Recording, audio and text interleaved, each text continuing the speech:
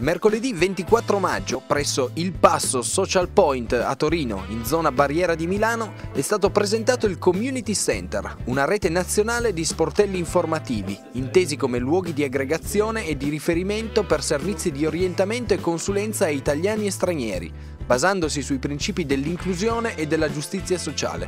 Progetto promosso dalla Diaconia Valdese e da Oxfam Italia. I community center sono un progetto di Diaconia Valdese e Oxfam Italia, una collaborazione per la quale è stato previsto appunto l'apertura di quattro centri a mm, Torino, eh, Firenze, Arezzo e Catania, centri di ascolto, di orientamento e centri anche per rilevare i bisogni eh, della popolazione eh, in, spesso in zone caratteristiche. Qua eh, Barriera di Milano è una zona mh, mm, che racconta un po' la storia delle, delle migrazioni di Torino, quindi una zona dove eh, c'è una convivenza tra italiani, eh, tra persone venute dall'estero ma qui ormai già da, da decenni, tra nuovi eh, immigrati e, e appunto eh, non a caso questo centro vuole lavorare anche sull'inclusione sociale, anche sulla collaborazione, anche sulla crescita generale della popolazione nel suo complesso appunto così articolata come ho appena descritto. Abbiamo servizi di orientamento alle pratiche burocratiche,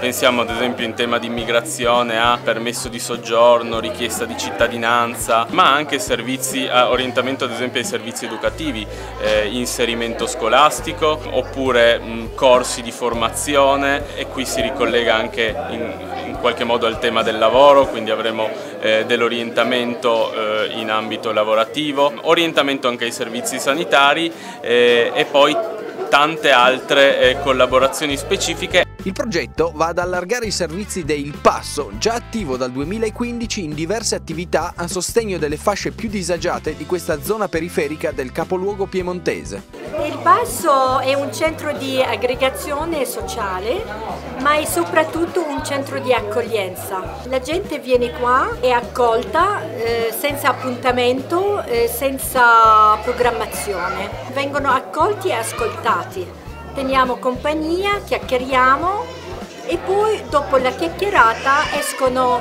bisogni se ci sono dei bisogni. Oltre a questo noi abbiamo delle attività programmate soprattutto per i beneficiari dei corridoi umanitari che sono beneficiari siriani arrivati dal Libano. Le attività sono un gruppo psicologico per adulti, un gruppo per bambini, un gruppo per l'ostetrica, con l'ostetrica per le donne in gravidanza e dopo il parto e questo gruppo è aperto a tutta la cittadinanza. Abbiamo anche un gruppo sempre aperto a tutta la cittadinanza di eh, mamme eh, con bambini neonati da 0 a 1 anno. C'è l'attività di extratitoli che fanno riconoscere i diplomi, lauree estere in Italia e eh, viceversa. L'apertura del Community Center è stata accompagnata dall'inaugurazione della mostra fotografica Facce da quattro, non estetica, no etica, del fotografo Salvatore Svadas, che ha proposto le immagini scattate sul tram numero 4, linea storica di Torino che collega le periferie al centro, ma anche, cosa non scontata, il centro alle periferie. Io sono una persona che osserva molto. Un giorno avevo il cellulare così che, che smanettavo col, col cellulare come fanno tutti adesso e c'erano questi personaggi esteticamente molto interessanti. Così per, per, gioco ho fatto una foto, poi sono arrivato a casa, l'ho guardata, ho detto ma perché non creare una pagina comunque su Instagram dove appunto posso pubblicare queste foto e, e, e raccontare un po' la città comunque. Il titolo non, non l'ho deciso io, l'ha deciso una giornalista di Repubblica che mi ha fatto un articolo su, appunto su Repubblica che si chiama Francesca Lai che comunque ringrazio e l'ha intitolato Facce da 4. Invece il sottotitolo è mio, in realtà... Eh, in realtà da un aneddoto che, che mi è successo eh, su, su, Facebook mandando appunto l'email di questo articolo che è stato pubblicato su Repubblica alcuni fotografi abbastanza famosi di cui ho fatto workshop e cose del genere. E questo fotografo eh, famoso mi ha risposto che queste foto non avevano né etica né estetica, mi aveva, detto, mi aveva detto appunto che senso hanno queste foto. E da lì poi è nato questo titolo.